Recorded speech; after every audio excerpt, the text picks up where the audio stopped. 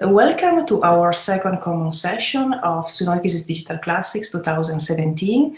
Today we have a session about encoding of ancient text with Gabriel Bodard and Simona Stoyanova from London. They will uh, talk about uh, um, standards, uh, tools and methods for encoding text with a specific reference to XML markup and the TEI uh, Epidoc uh, subset. So welcome Gabriel and Simona. Both Gabriel and Simona are, well, members of this community since the beginning. They have participated in many common sessions and they have contributed with many common sessions. Welcome again. And now you can start, you can share your screen. I think Simona is going to start. Yes. Okay, good. Hi. I'll start. Uh, let me screen share and see if you can uh, see the slides. Is this all right? Yes, yes, it is. Okay. So this is the session on encoding ovation texts, and as Monica said, today it's me and Gabby. Uh, so first, a short overview of the class. We'll do a tiny introduction to markup and what markup means. Then Gabby's going to uh, walk you through Leiden TEI and various XML tools, some of which we will be using today in the class. Then we'll give you a technical introduction to how XML works and how its syntax looks like. And then we have prepared two demonstrations, uh, one on Oxygen, one on the Papyrological Editor, which are two of the tools that Gabby is going to introduce. Um, so let's start. Introduction to markup. So this is chapter 9 of the Thucydides uh, History of the Peloponnesian War, the 1910 English translation. As you can see, it's just a bunch of text um, describing something. It's a story. So what can we do with it, with markup? Several things. First, we could, for example, analyze its structure and do the following, break it down into paragraphs. In this case, we have three paragraphs each one begins with the P tag and is closed with the closing P tag. That's what we call structural markup. Another kind of markup is semantic markup, where, for example, like this, we analyze the contents of the text of the material that we have. And then, for example, in this case, we have decided to tag the personal names in this section of the Peloponnesian War with the first name tag. So that's kind of the two basic types of markup, the structural one and the semantic one. So um, HTML and XML are two, the two main sort of markup languages we'll be talking about. Um, HTML being the renditional one, as you can see in the first example over here, we have three cases in which something um, has been tagged with an I tag, which means italics, so render this bit of text in italics. However, with semantic markup, we capture the meaning of what's actually being said. So we don't say render this in italics, but we say this phrase is foreign as opposed to the rest of the text in which it appears, or this phrase is a title of a book, or this word is used to emphasize something. And that's the basic difference between renditional and semantic markup. Um, so XML, excuse me, is a data format. Um, as you can see, the tags of the text encoding initiative are in kind of English, so we could say it's sort of human readable, but it's not necessarily so, and that's not the point of it. Um, and we can transform the XML that we have via XSLT to various formats depending on what we want to do with our files in the end. So we could transform our files for publication or for interchange between different projects, uh, crosswalking between different data formats for search and discovery, for all sorts of things. Also, depending on the uh, end result that we want to achieve, we can have different kinds of transformation. For example, an educational publication might not include all of the scholarly information that an academic publication might include. So depending on what we want to achieve, some of the distinctions, the semantic distinctions, might be enhanced or leveraged, depends. So, um, as we said, XML is a data format, um, and as such, it can be transformed into different things for different purposes. And Common Output specifically for the humanities, which includes TEI and its EPIDOC subset, um, is different publication types. For example, print or mobile and website versions. Um, there are different um, editions depending again on what we want to do with our material. So we could have interpretative or diplomatic or student educational editions with, let's say, translations as opposed to only apparatus criticus, etc. And on top of that, we can uh, choose how to index our material and design our search index and concordance. How does that happen? That happens, as we said, with XSLT. So, for example, if we have one XML file which then we want to transform into HTML, then we have one XSLT that does the transformation. However, if we have a collection of texts all encoded in XML, then we only need one single transformation to generate various indices and tables of contents and concordances from them. So it's really it's really quite useful um, for the creation of various types of publications to have one transformation that achieves a lot of things from uh, many input files. And now we go to Gabby's first bit. Shall I stop screen sharing so he can continue? Yep, great. Thank you. Uh, thank you, Simona. Um, let me try and find my screen share now. Sorry, I've got so many screens open. It's going to take me a second. Um, where are my slides? Okay. Um, sorry, I should have prepared and skipped forward.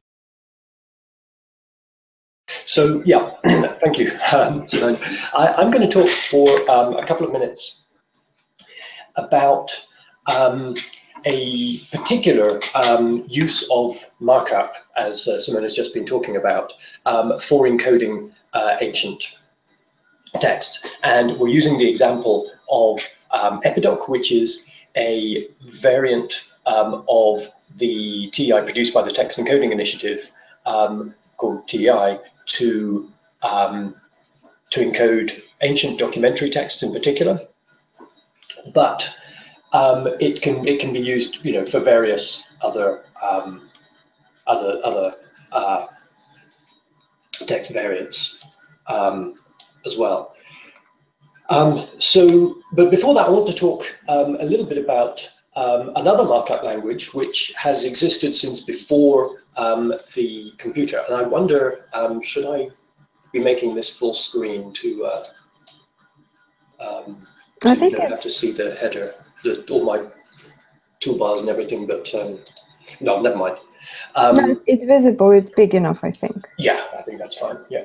So um, I want to talk just for a couple of minutes about a markup language which is called, uh, commonly called Leiden. Um, it's the, the Leiden Conventions.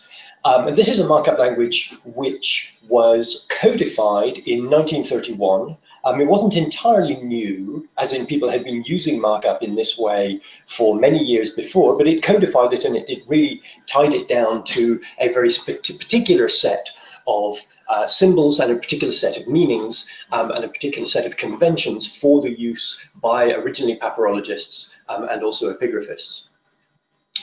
And um, the way this um, this markup scheme works, and this is this is a markup scheme in exactly the same way that XML or HTML or the other markup schemes that um, Simona has mentioned um, are markup schemes because it is um, it is very arbitrary. What symbol represents what semantic um, convention has, uh, has has nothing to do with what that what that symbol actually means in any other context, and what um, and it should be uh, unambiguous. So a square bracket always means that there are letters missing in the original text.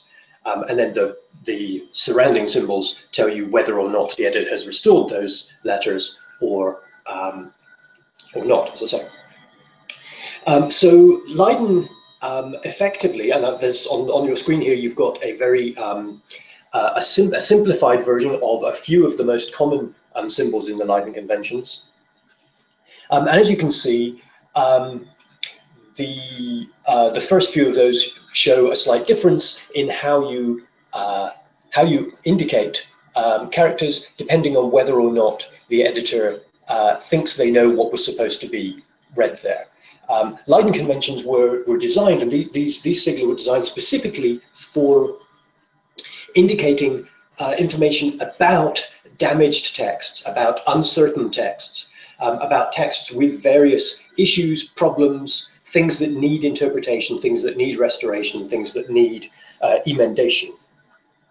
So there, um, for example, the first um, the first item on here shows if you have a row of dots um, appearing in your um, in your edition of a text, and there are no brackets or parentheses around that um, row of dots, then this tends to re represent a, uh, a series of illegible characters um, which the editor hasn't attempted to resolve or restore. So the characters are either illegible because they're they're heavily damaged. This could be on a piece of papyrus where the ink is more or less washed off. You can see traces of ink, so you know there was writing there, but you can no longer read it. It could be a piece of stone that has been sheared off midway through a line, and all you've got are the very bottoms of the uprights of the characters in that line where, you know, it's impossible to tell whether it was just a row of eyes or, um, or uh, other characters that have vertical hastae. Um, or it could be um, text that was written with such a scrawling, um, scruffy handwriting that we've just got no chance of interpreting it anymore. Um, that's how you would probably uh, attempt to transcribe something that I'd written, for example. Um, the, uh, the second row here shows you what happens if you have something similar where the letters are either very poorly executed or are damaged in some way.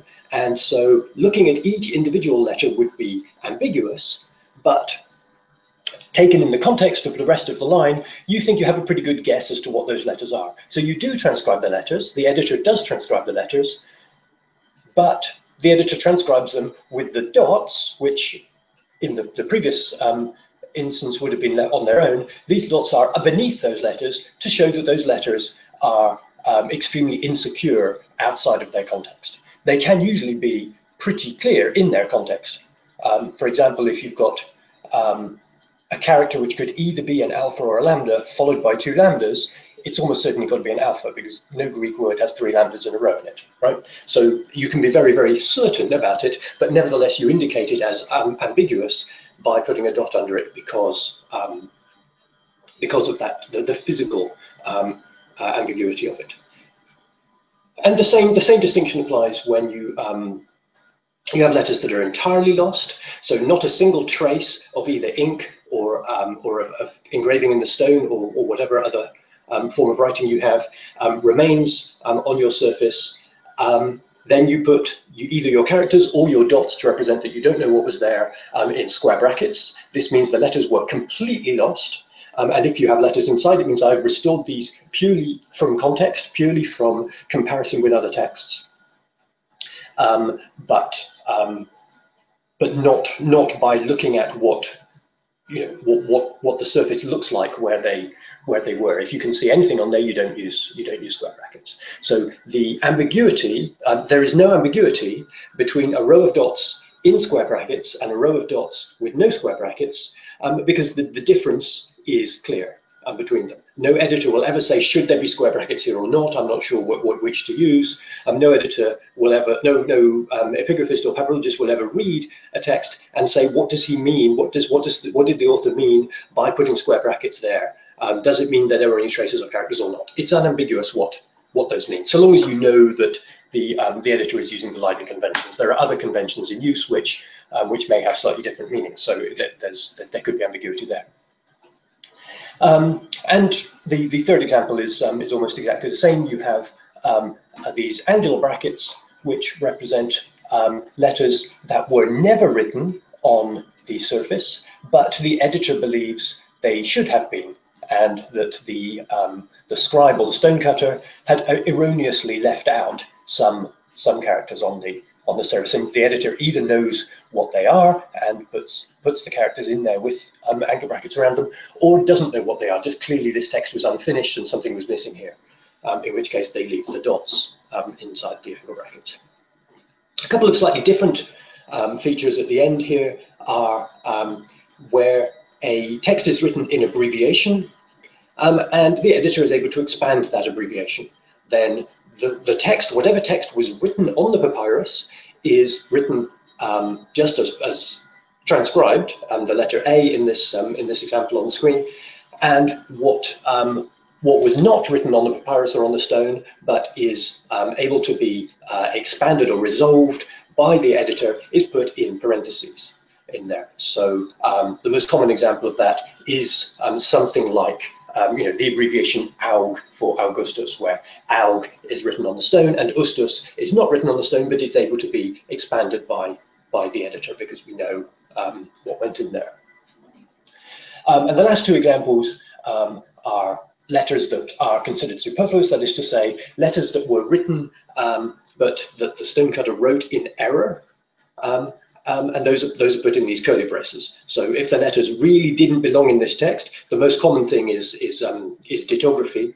But there are other cases where where um, the editor might, for example, have written a number and then written the number out in words as well, or um, you know written a word written a word um, that um, that really didn't belong in the sentence, or maybe that belonged somewhere else. you know, recopied from the previous line or something. These sorts of mistakes can be made. And then the last of these um, on here is a slightly different feature because this is not describing the state of the, um, the, the, the, editor's interpretation of the state of the text. It's making a more or less um, objective observation that um, the uh, that somebody, not necessarily the original stonecutter, most likely not the original stonecutter, has deliberately attempted to erase the um, the letters involved. Um, and this could be um, something like Damnatio Memoriae, where someone has taken a chisel and removed the name of, of, of an emperor or another official who, um, who is deemed to no longer exist um, from, from an inscription. Or it could be simply crossing out um, on, a, on a papyrus or the practice of subpuncting under, under the characters of a, uh, of a word in a, in a manuscript to say, you know, this word was put in by accident and we want to we want to remove it. Um, so it's it's deletion um, in the uh, in the semantic sense rather than um, rather than uh, you know necessarily physically removing the the surface. It's marking that this shouldn't be read um, in one way or another. Um, so so that's just a quick overview, as I say, of, of some of the the, um, the, the most obvious characters and symbols used in the um, the Leiden conventions. Um, I've put on this um, on this slide a couple of links um, to other places where you might go and find out more about this if you um, if you uh, if you're not familiar with them and you want to know more. But that's just a, a basic um, sort of background. The point being that this is a markup language of, of exactly the kind that we've talked about, where a uh, a symbol, a character, in in a digital text, this is this is you know a a uh, a character point on um, on your text, just as the just as the letters in between them are, and just as the spaces in between words are. Um, but these um, these characters, these brackets in most cases or dots, um, they don't uh, have an alphabetic meaning. Rather, they have a semantic meaning that helps you to interpret the characters around them. Now this is this is this is fine. So as we've we've said, you know, you this is perfectly um, readable to someone who's trained in the Leiden conventions, and there's no ambiguity. The, the, the reader knows exactly what the editor meant. The editor knows what to write um, when they know what um, what state their text is in. The downside of the Leiden conventions, which, to be fair, no one could have predicted in 1931, is that they're not um, as computer readable as a um, as a technical markup language would be, as something like XML or HTML would be. So it's harder to train a computer to treat angle brackets, um, to treat the square brackets or the dots or other things as separate from the surrounding text and to do um, conversions of various kinds with those texts, with those characters um, within within the within the brackets. So um, I mean, it's not it's not actually technically any harder to, to ask a computer to, to deal characters in, in curly braces differently than it, than it is to ask um, a computer to deal with characters surrounded by XML tags, but um, but it's the XML is a convention which is used in many many different disciplines, um, not only in in papyrology and epigraphy, um, and so there are tools which can do this for us already. Um, so that the point is, we get much more bang for our buck um, with computer processing of our texts if we were to use XML to encode the semantic distinctions in our texts rather than using the Leiden conventions.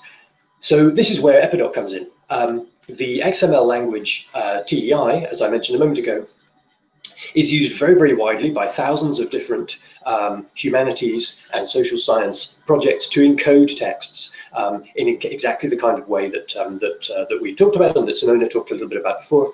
Um, and so if we encode our text using those same conventions, um, there are a lot of tools out there which can do processing on those um, on those texts for us already.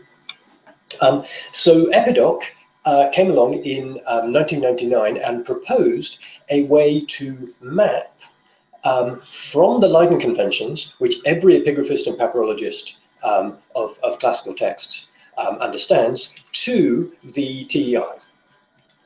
Um, and this is um, this is this is not exactly how it was proposed in um, in uh, 1999, but this is this is how Epidoc now proposes to map from um, from the, uh, the the Leiden convention on the left to the uh, TEI tag on the right. And so you can see a combination of the tags in blue and attributes in in um, in orange or brown there, um, and the original um, Latin text in, um, in black type in the middle. Um, it's a lot more verbose than the um, than the, the Leiden on the on the left, but um, as as Simona said, verbosity is not is not a problem with with XML. It doesn't have to be human readable. It doesn't have to be um, pretty to look at. The point is it's much easier for a computer to interpret and process in various ways. Um, there's much more detail about how um, Epidoc works um, in the two links again at the bottom of this page and, and how you would encode a particular um, Leiden um, feature in, uh, in Epidoc um, at the Epidoc guidelines and also at the Leiden Plus guidelines produced by the papyrological editor folks. Um, but um, and I won't go through all of these in as much detail as I did um, when I was talking about the Leiden a minute ago, but just to show a couple of examples, perhaps the easiest example to look at is the example of the, the, last, the, the last but one um, example there, the text in curly braces, which means that this text is superfluous, that the editor believes the scribe wrote these characters um, in error and didn't didn't actually mean to include them in the text and they shouldn't be included in the text. Um, and in that we simply use a um, TEI tag uh, surplus, which um, which basically has exactly the same meaning as those curly braces in Leiden. Um, this is in fact a case where rather than um, Epidoc having to decide based on our understanding of Leiden which um, of the many existing TEI tags we should use to represent this particular semantic distinction. This is a case of where TEI didn't really have a semantic distinction for text that had been written but shouldn't have been there. Um, and on Epidoc's request, um, on our request, the, the TEI invented the tag surplus specifically for this for this purpose. So this is um, this is very similar to what um, I mean, many of these, it's, it's, it's very similar. You have the opening surplus tag and the closing surplus tag, and they represent the opening curly brace and the closing curly brace. Similarly, del, opening and closing, represent the opening and closing um, double brackets there um, in the in the Leiden. Similarly with unclear, the well, not quite the same with unclear. The opening and closing unclear brackets um, capture the entire span of um, damaged and ambiguous text, whereas in Leiden each character is represented with an underdot beneath it rather than a symbol at the beginning or the end. And so that's slightly uh, slightly different. Um, supplied is more or less exactly the same, only that um, TEI didn't distinguish between characters, between text that was supplied because it had been entirely lost and text that was supplied because it had been erroneously omitted. And so the, um, the Epidoc had to use uh, this attribute to further subdivide the, um, the meaning of the gap element. Gap doesn't just mean text that, um, that, that we have left out of our edition um, for one reason or another. It, it means any, any, any place where there is a gap in our edition. So we have to specify that it's a gap because the text is lost, as in the case of um, square brackets, omitted in the case of angle brackets, or illegible, as in the case of the dots without any brackets around them at all.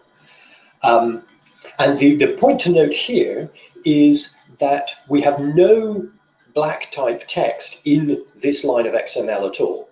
This, um, this is because the entire text of the Leiden symbol on the left here is all markup, right? There's uh, in in the example like the um, the uh, restored text um, ABC in square brackets. The square brackets are the markup, and the ABC is the transcription. But where we have the square brackets and the dots, neither of those is the transcription because the square brackets mean it's lost and the dots mean we can't restore it. Both of those are markup, so they're both replaced by um, XML um, on the um, on the right hand side. Um, so I won't go into this in any more detail. I just wanted to um, sort of highlight this as um, as, a, as a, an overview. Um, do have a look at the um, the guidelines um, down below.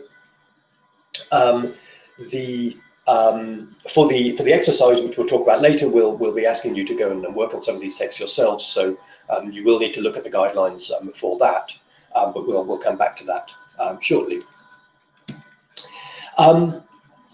so the the next thing I wanted to do was to really just to sort of get it out of the way is to talk a little bit about a couple of XML tools that we can use um, for um, for editing um, markup in this in this way. And I'm going to talk um, about five um, tools um, that you can use to mark up XML. I'm going to talk very very quickly about these because we're then going to look in a little bit more detail at a couple of them. We're going to look at Oxygen. We're going to look at the Papyrological Editor. But I'll briefly mention the others and say and explain why it is that for um, for the exercise that we're talking about, we've decided to recommend the XML editor, the the Oxygen XML editor.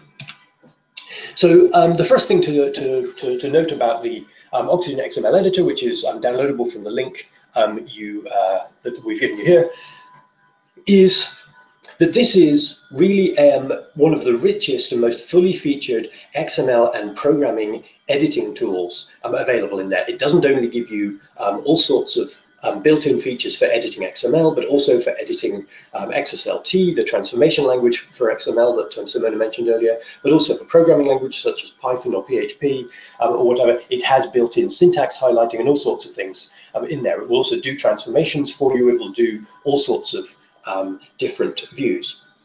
And so it's one of the richest XML tools that you could possibly want. Um, it's not it's not a free tool, um, and I tend generally to to try to recommend free tools for for everything um, we use. Not only because you know free is nice because no one has lots and lots of money, but um, but because um, open source tools are more um, you know are, are, preferable for, for all sorts of reasons. Um, the academic license for Oxygen, however, is only $99, so that's not expensive if you're running a project. Um, if you know, if you're a student who's just going to use this to practice with for one week, that's obviously you know an, an unfeasible um, price. But um, Oxygen does also offer a 30-day uh, demo version, um, which is free. Um, which means you can use all of the features fully featured for 30 days without without paying for anything. And then after 30 days, if you want, um, if you decide you want to keep this, you have to acquire a license somehow. Um, and so the sorts of features that Oxygen offers um, include color coding um, of, um, of elements and attributes, um, similar, um, very similar to the color coding that I used in this, um, in this example a few slides back. it will offer autocomplete features, it will offer contextual menus for elements and attributes and things that appear at a particular point in the document. Um, and as I said, it will do uh, transformation for you. If you have some XSLT as well as some XML, it will allow you to, to write scenarios, to do various types of transformation. It will do various things in there for you. So it has features that, that no, nothing um, that is nearly as cheap as this um, could possibly offer. Um, and so that's, that's, that's the reason that we've, we've gone um, we've gone for this. Um, if we if we wanted to be to be much more uh, strictly open source with our um, XML editing, um, as as I would you know with any other tool in the world, I would I would normally recommend, and with um, and I know the um, the Sunoikisis um, Digital Classics uh, program as a whole does try to be as open source as possible, just to, to, to you know so so as not to uh, exclude anybody from um, from being able to follow this. Um, the the one alternative which which has been used with some success is um, a tool called Emacs. Um, this is um, downloadable from the link um, uh, given above. this is a tool put together by Peter Heslin in, in Durham. it's a, a, bundle of various tools related to the Emacs programming editor which is an open source tool which is very um, very popular among um, programmers of, of, a, of, a, certain stripe. And um, this is free and it is open source, which means that you can not only can you take it away and use it without having to pay um, any money for it, but you can also change it, you can um, improve it, um, other people can improve it, you can share the improved version. It's it's it's it's it's very transparent and everything, which is which is all great. it is um, it can it will offer you validation of your XML, and it is it will give you um, complete uh, you know uh, element completion um, uh, based on the schema that you give to it. Um, it doesn't, however, have any XSLT support, so you can't transform your XML um, using um, using this tool. Um, we're not going to be doing any XSLT or transformation for this week's topic, um, so that, that doesn't matter so much for us. It is, however, harder to install and it's slightly harder to learn to use than Oxygen, which, which make, pretty much works out of the box. So, um, so feel free to try and use Emacs if you, if you want to. Um, it'll be a little bit more, um, a little bit more of a learning curve than, um, than using Oxygen. But as I say, if you want to carry on using this for more than 30 days and you don't have $99 um, or uh, a generous departmental budget to, to pay for that, then a free version may be um, maybe uh, what you need. Um, there are, of course, many other both um, both non-free and free um, XML editors out there, and I couldn't possibly talk about all of them. Um, but but these of of the of the non-free ones and the free ones respectively, these two are probably the two most likely um, options that that you might want to use. I want to talk in a way about about another option which um, which I, I, don't seriously recommend as an option but just to make make the point that because XML is um, in essence it is just plain text. The, the, the the coloring and the syntax highlighting that you see in the examples we've given you that you see in Oxygen are purely to make life easier for us to, so we can read it more easily. But what is really going on there is just plain text. So you can create and edit and save XML just in your favorite text editor, Notepad, TextEdit, whatever, even Microsoft Word, whatever um, you use as a text editor, you save your file as text only um, and then just give it a .xml suffix at the end. And so long as what you have created is valid XML, um, it can be treated as any other XML file can be treated. So you can do all of that, and that's, as I say, that's free. Um, or even if it's not free in the sense of open source, the, the text editor tool, um, there, there will be a text editor tool of some kind installed on your computer, whatever, whatever you have. Obviously, this text editor won't give you any validation support. It won't give you any schema support. It won't give you any um, highlighting. It won't give you any auto-completion. And it certainly won't give you any XSLT transformation support. So it'll give you, you know, it, I, I don't think that, you know, I've been using XML for 15 years.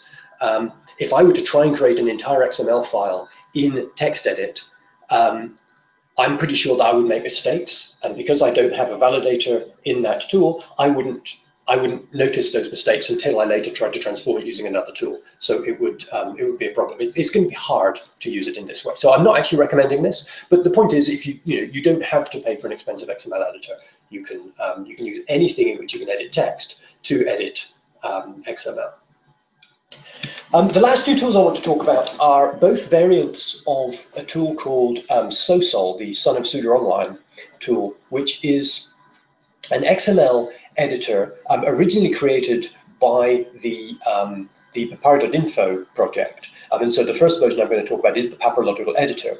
This is an online tool, so it's free to use. Um, you have to be online while you're using it, and also the server on which it's hosted has to be um, working at the time you're attempting to use it, which I mean, it is working 99.9% of the time, but just occasionally it, um, it, it, goes down for um, for maintenance or whatever. So you have to be um, aware that you know you're, you're, using this on the sufferance of the people who, who own it. It does offer validation. It does offer in-browser preview, which is a form of XSLT transformation for you, although only using the um, the style sheets that are um, created by that project. Um, you can't you load your own style sheets into it. Um, and it is very project project specific. It has limited functionality. It will only allow you to use the Epidoc schema, not other schemas, and only the version of the Epidoc schema that the papyrological editor uses. Um, and um, so it's very limited in what um, in what you can do with it. Um, you can't tag place names or personal names in it, for example. Um, but you can um, use it to to create your XML. Um, and the, the, one thing which um, which I didn't mention is that it um, it does have a tags-free editing um, version, so which allows you to use a language called Leiden Plus, which is very similar to the Leiden conventions we um, showed you a minute ago, almost identical to the Leiden conventions, and um, and it will internally interpret that Leiden as the equivalent um, Epidoc XML alongside it. Um, so you can use that to much more quickly produce your XML than you would um, do in, in, in an XML editor by hand, um, and then download the XML, and then you can do things that you can't do in the papyrological editor with, um, with that XML elsewhere, such as tagging place names. Um, so that's, that's one thing that can be useful for. Uh, Gabby, so, yeah. So, sorry, sorry for interrupting. Yeah. Just one thing, sure. maybe uh, we can explain what uh, SOSOL means. Uh, so why Son of Suda online? Right. Yes. Um, so there's um, there's a, a, a, tool that was created in 1998 um, for a project called the Suda Online, which was a collaborative editing tool um, for translating the, in, in originally for translating the Suda um, text um, collaboratively. So there are 30,000 um, entries in there. No one person was going to translate them all, so hundreds of people collaborated to to translate them. Um, and in, in fact, it took about 15 years, but then the whole thing was um, was translated. The the son of Suda Online, SOSOL, is not a technical variant of or technical development of the original Suda Online tool, but it's an intellectual um, descendant of. It's inspired very much by the workflow mechanisms that were written in the original Suda Online. So the name is um, is, a, is an homage, if you like, to to the original Suda Online tool. Okay, thank you. Because sure. that yeah, a small community knows that, so this is important. Yes, that's true. Thank, thank you. Yeah, yeah, yeah, no, thank you. That was that was useful useful to um to remind to remind people of. Yeah. Um, so the, um, the Perseids project, which is one of the projects um, of the Perseus Digital Library in Tufts, um, has also created a tool which is a variant of the SOSOL tool originally created by the um, papyrological um, editor, um, which of course is an open source tool, and so the, the code is available, and people you know people are able to take it away and do new things with it. And the Perseids did exactly this. They they took a copy of SOSOL um, and they, you can see this slightly different tool at the URL given here. Um, this also um, is an online tool that you can use for free. It is open source. It offers you validation and in-browser preview. Um, it gives you slightly more by way of color coding and auto-completion than the, um, the papyrological editor version did, but it doesn't give you the tags-free editing um, environment um, it's, it's, it has slightly different um, purposes and functionality. It is very specific to a particular project or a particular series of projects in um, that, that Perseids um, run, and you can um, you can download uh, the the XML um, from it for use in an editor as as with the other version. So I've taken a little bit longer to talk about that than, um, than I intended to, so I'm going to, as quickly as possible, pass back to Simona to give a, a technical introduction to, to what XML is. Yeah, just let me screen share once you stop yep. doing that.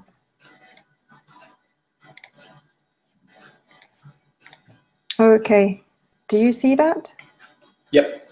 Okay, So a quick introduction to what XML actually is and how it works. It's made out of plain text um, and both the content that you put in it and the tags like the name, etc. That's all plain text. Um, oh, sorry, one important thing. So characters which are used in the XML syntax, like the angle brackets and the ampersand, should be escaped. And the angle brackets are escaped with these entities and the ampersand with this entity. Because when you open your XML editor, once we start doing the exercises and you type an angle bracket, you will see that the editor interprets that as the beginning of an element rather than as plain text. So that's something to remember. Okay, so an element is made up from a tag and its content. And an opening tags, uh, tag looks like this. It's enclosed by angle brackets. Then we have some content. The closing tag looks the same way except it has a forward slash at the beginning. There is something called an empty tag, which is a tag which does not have any content. And the shortcut for that, rather than repeating an opening and closing and then having nothing in between, the shortcut for that looks like this. So it looks like the closing tag, but the forward slash is at the end of the element rather than at the beginning, like here.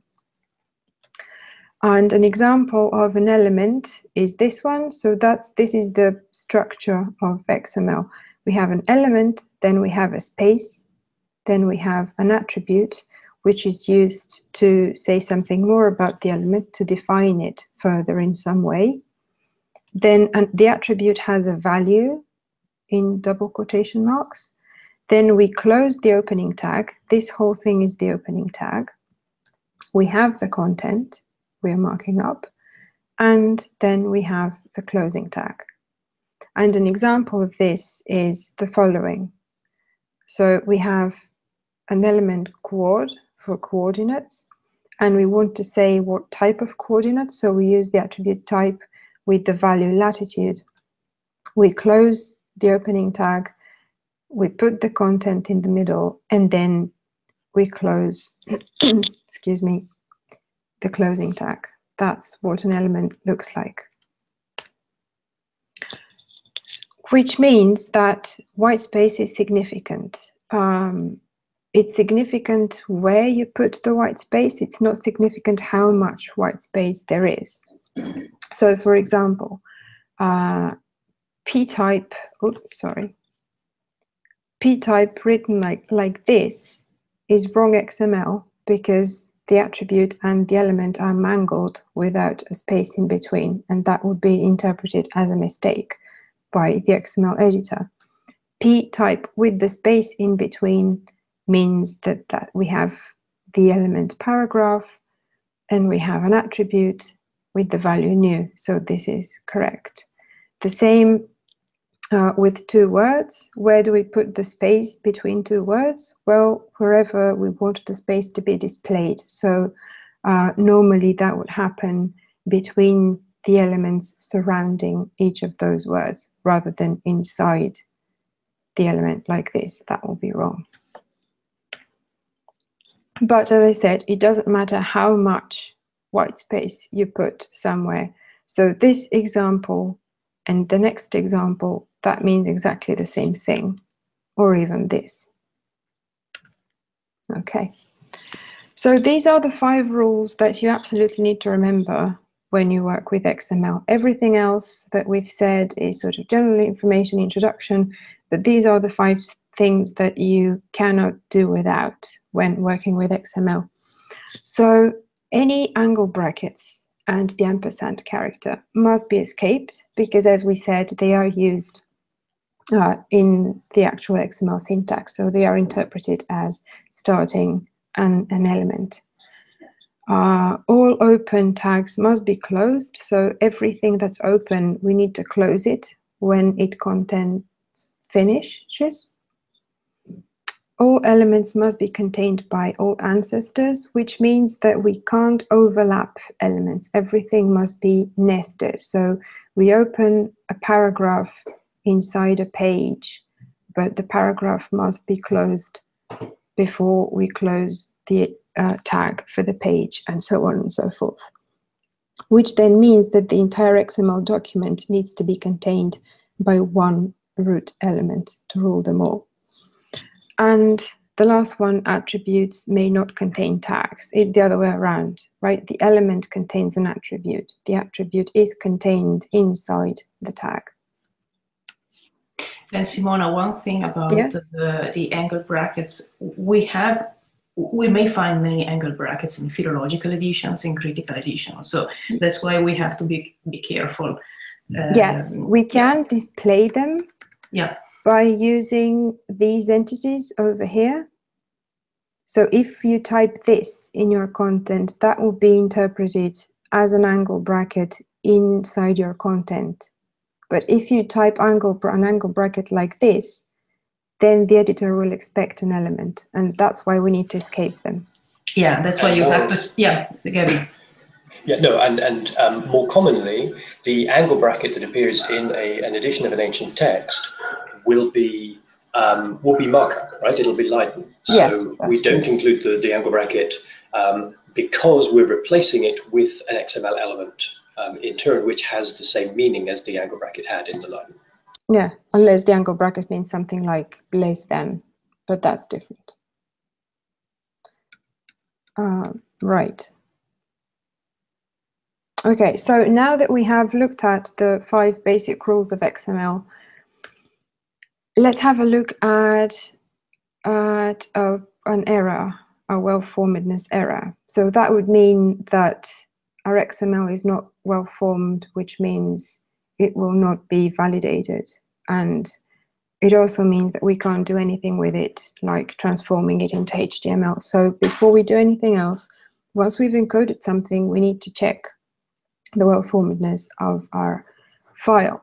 So here we have a book that has several pages, two of them currently visible on the screen. And these pages have some paragraphs of text in them.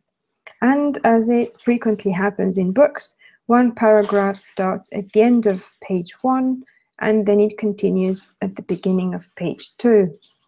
Now, here we see that um, the element page opens here, then we have one paragraph, then we have an opening paragraph, and then a page closes.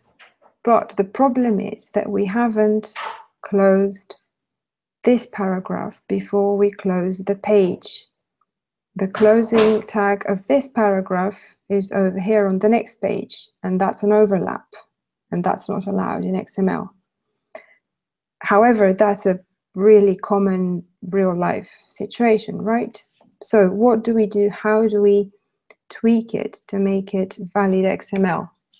We have several options. One of the good things of XML is that it's quite flexible um, and allows us to work around around um, things. So one option is, for example, to close this paragraph inside the page where it belongs, where it starts, and then open another element paragraph on the second page where this paragraph ends.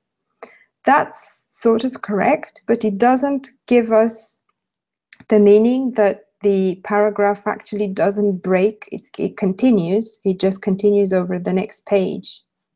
So what we could do is then use an attribute, for example, part, to say that this paragraph starts on this page, but this other paragraph is actually the same one, but it ends on the next page.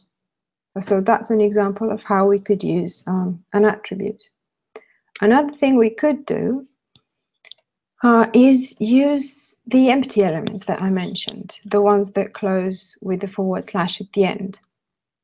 They usually mean a boundary of some sort rather than they don't represent any content because they're empty, right? So we could use them for our pages to mark up our pages, uh, which then would mean that we have the page begin over here as a boundary marker between the content of the previous page and the content of the next page.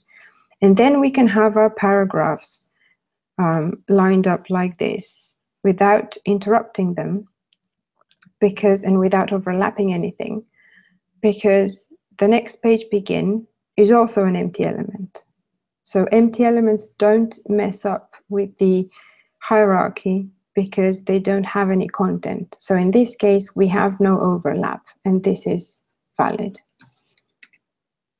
So to sum up, as we said, um, XML must be well formed to be valid, but also XML may validate to a schema, which means that when you design your project, you wouldn't normally use all of the hundreds of elements available in the TEI or in Epidoc or in any other um, convention like that.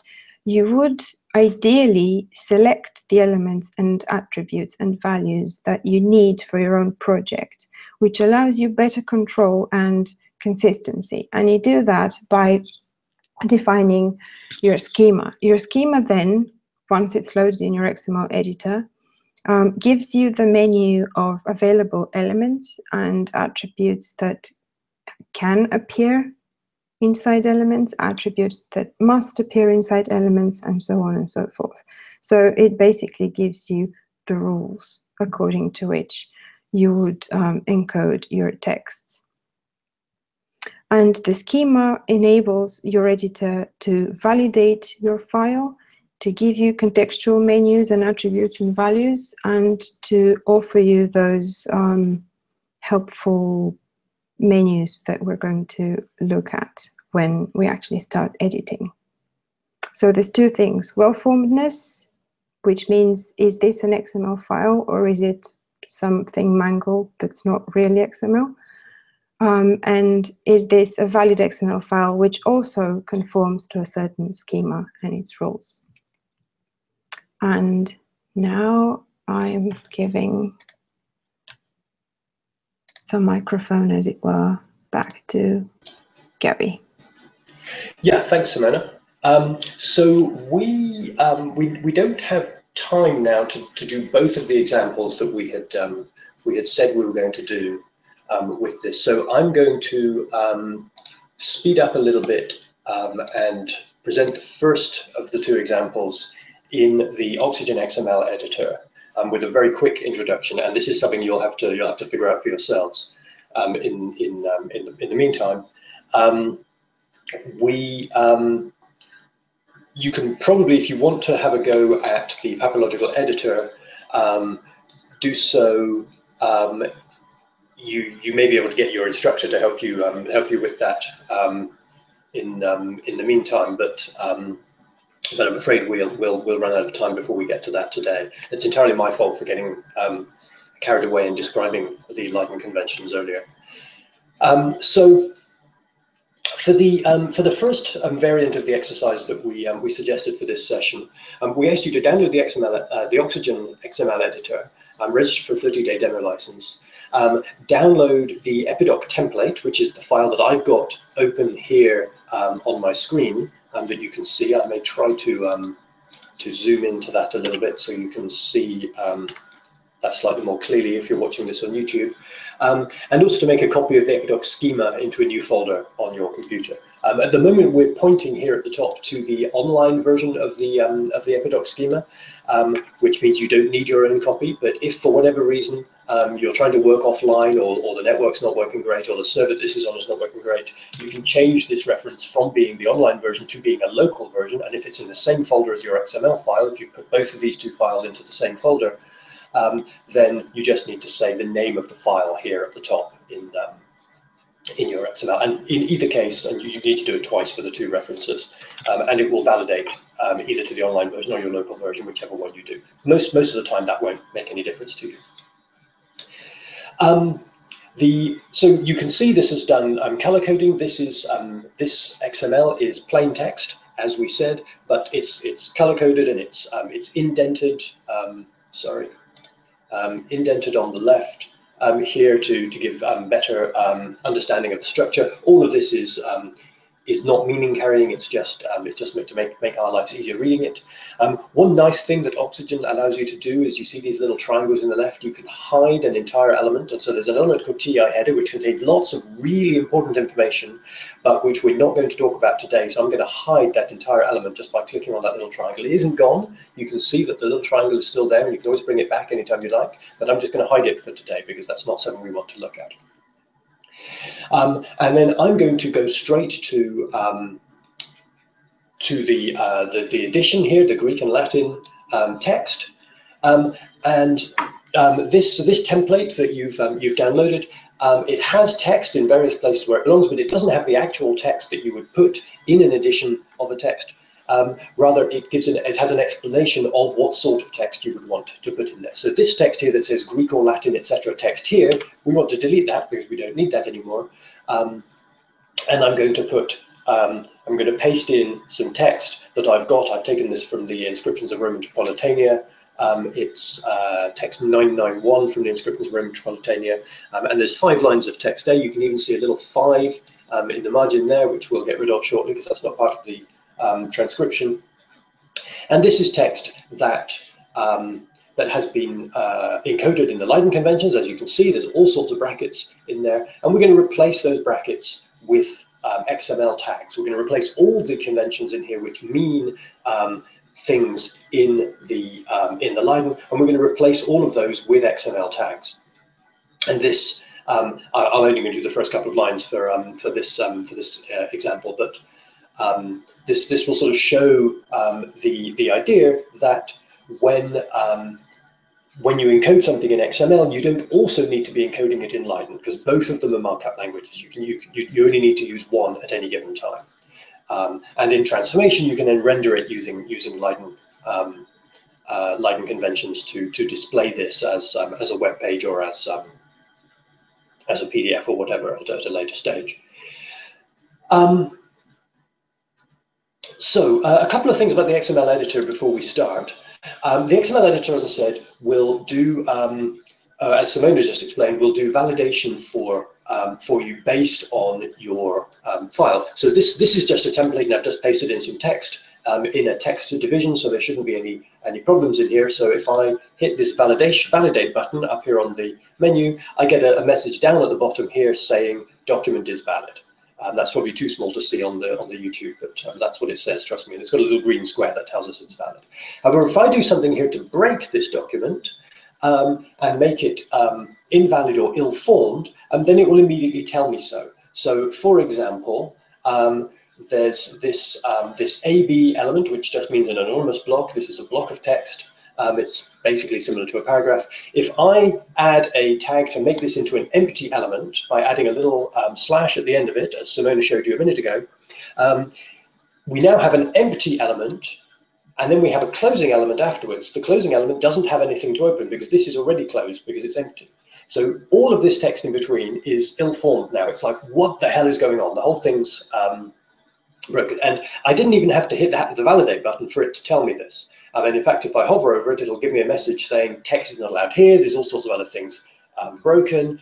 Um, so this is this is live um, um, validation. It validates as you go along. If I delete that slash again, then this will all go away because it's now well formed again.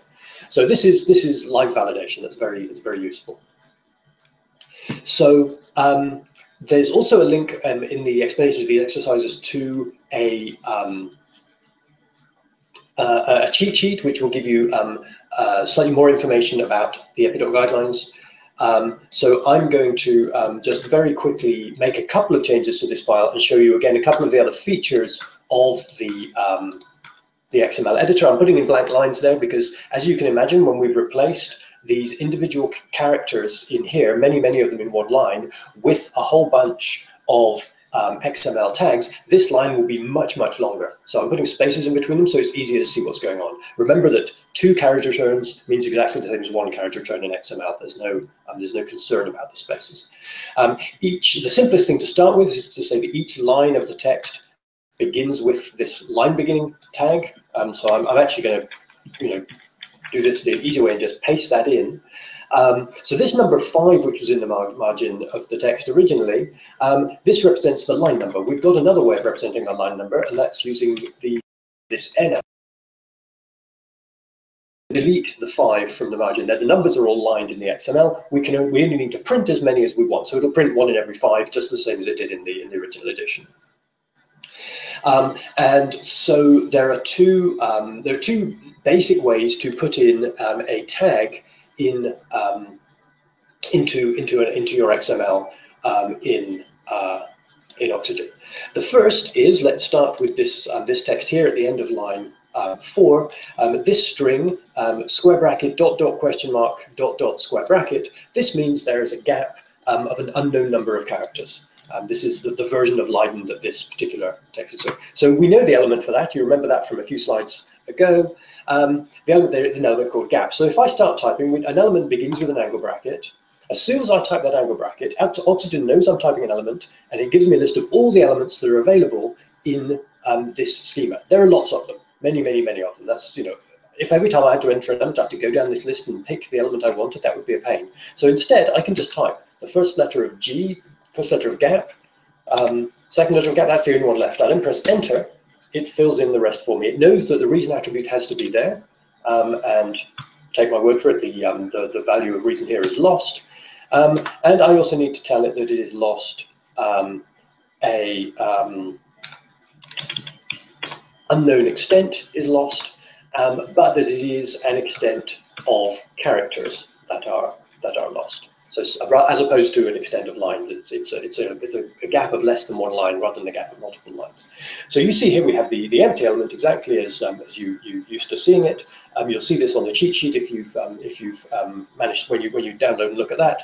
Um, we have gap, reason, lost extent, and a unique character. Here is the opening tag, and, and here is the closing tag with nothing in between representing that it is an empty element. Um, as, as Simona showed you. Oxygen also does another nice thing is if you have an opening tag immediately followed by a closing tag and you type the, the, uh, the forward slash right here at the end of the opening tag, it knows you don't need the closing tag anymore, so it gets rid of it for you. So just by typing, you can actually enter all this information much more quickly than you would do if you had to type. You can also type it all. Um, you could have kept typing, ignoring all those pop-ups um, until you got to the end. And when you type the closing angle bracket, um, all the pop-ups would disappear. But um, but the pop-ups are there to help us, right? The other way we can um, we can enter elements using um, Oxygen um, is slightly more convenient even than that. Um, we have here a span of text, starting at the very beginning of this inscription now. We have an angle bracket, then we have Imperatore Caesar, and then the closing angle bracket, E. So we have the E on the stone, but we know there was something lost before, it said Imp Caesar, um, and so we, we put all that in square brackets. Um, um, that again, I want to, to, yeah. Sorry to interrupt. Once you've yeah. tagged something, get rid of the Leiden gap. Yes, good point. You have both now. Yeah. yeah, yeah, yeah, yeah. Yeah, sorry. Right. Cool. No, no, thank you. Yeah, yeah. Um, I, I, would have made that point um, for, for, for, what I'm about to say, but yes, it's worth making here as well. The gap here that is represented by the Leiden is now not needed anymore, so we can delete that. It's the, um, the gap um, as represented by Epidoc um, already serves that function. And as you can see, even just adding that gap already is now too long for this screen. So I can put in um, a line break in there. This doesn't mean a line break on the stone because only an LB tag means a line break on the stone.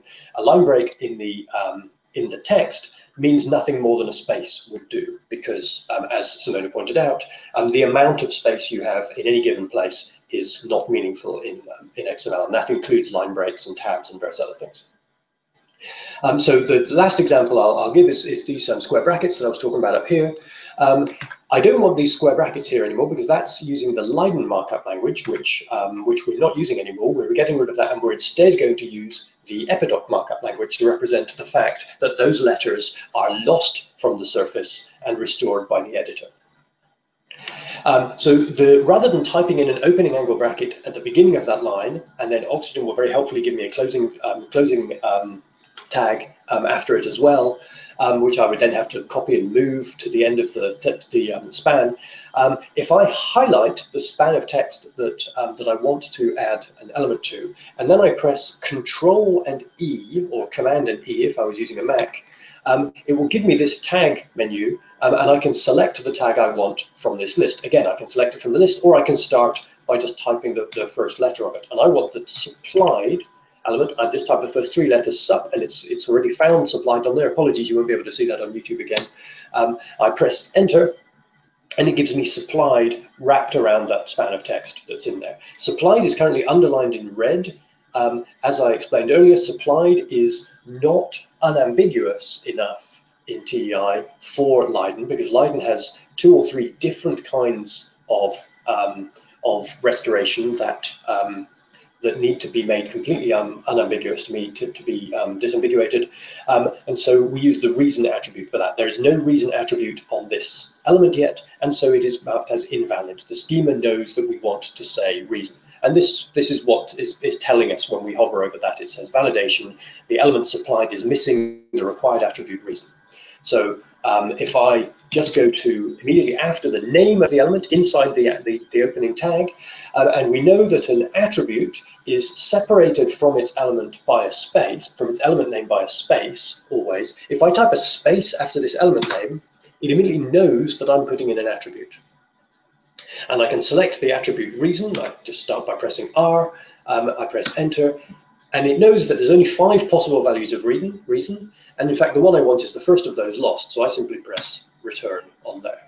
So entering this, um, this element, um, entering that attribute actually took me about three or four keystrokes rather than the 12 or so it would have taken me to type it. Um, you can, of course, type it, as I said before. Um, so I'm going to go through the rest of this document and I'm going to mark up everything in here, replacing the, um, the Leiden tags with uh, Epidoc tags instead. I'm, I'm not going to do it now live here on the video because we're out, we're out of time, but you, you, get, you get the principle, I think. Um, so the important thing is for you to try this out, um, experiment with the XML editor, the Oxygen editor, um, and see see how see how this works. Also to download the Epidoc cheat sheet that we've given you a link to on the on the session page, and get um, uh, so you can see which um, which uh, Leiden conventions you want to replace with which tags. Um, apologies for for rushing through that last bit um, so much. Um, I don't know why this particular session we always massively overestimate how much um, how much we're going to be able to say in an hour, but um, I'll stop. I'll stop there.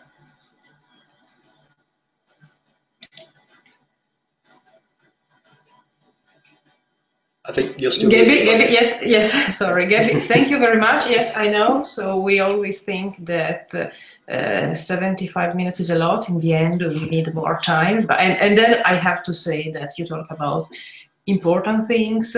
So it's very dense because, and, and, thank you for talking about and explaining the Leiden conventions because they are uh, fundamental in digital philology. And in this case, they are specific for epigraphy and papyrology, but still for every critical edition, we have conventions. And the interesting thing is that there's always, of course, we have these conventions. There is an agreement on these conventions, but are, they are always uh, uh, an interpretative act as for XML, because in the end, when, when, you have to choose a tag, um, you always have to read the text, and in many cases, we can have different editors who can choose different possible um, attacks. There are there are these possibilities. So there are absolutely uh, yeah. yeah. So and, and we can represent this disagreement or at least these different possible interpretations of the text and yes. of course different possible yes. yes. encodings. Yes, and a couple, at a couple of points when I was talking there, I, I used the word objective in saying what, what a what a what a tag or a, a Leiden a Leiden siglum meant. Um, that was, of course, an incorrect word to use. Nothing is entirely objective, as you say. It's always interpretive.